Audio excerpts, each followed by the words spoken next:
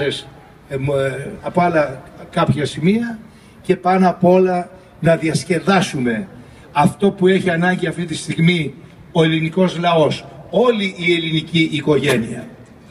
Μας έκανε μεγάλη τιμή ο ελληνικός οργανισμός τουρισμού να μας βάλει κάτω από τη σκέπη του.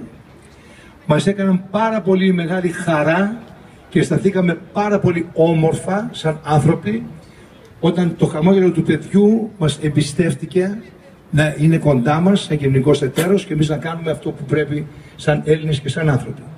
Και από την άλλη μεριά, όμιλος UNESCO, Πυραιός και Νήσων, είναι εδώ και οι δύο πρόεδροι, μεγάλη μας χαρά, μεγάλη μας τιμή. Θα καλέσω πρώτα τον κύριο Κώστα Γιαννόπουλο να μας πει δύο λόγια, η πρώτη του εντύπωση από αυτό που μπόρεσε να, ε, να οσφυριστεί και τι περιμένουμε από εδώ και μπρος πια να κάνουμε. Καλησπέρα σας. Μόνος τις μυρωδιές, γιατί δεν είδα, δεν πρόλαβα να δω κάτι και οι μυρωδιές ε, δείχνουν ότι είναι κάτι νόστιμο και όμορφο και η εμφάνιση. Ε, το σημαντικό όμως είναι το χαμόγελο των παιδιών και των μεγάλων, το οποίο σιγά σιγά προσπαθούν να το αφαιρέσουν. Εμείς όμως δεν θα το αφήσουμε να σβήσει και σας ευχαριστούμε.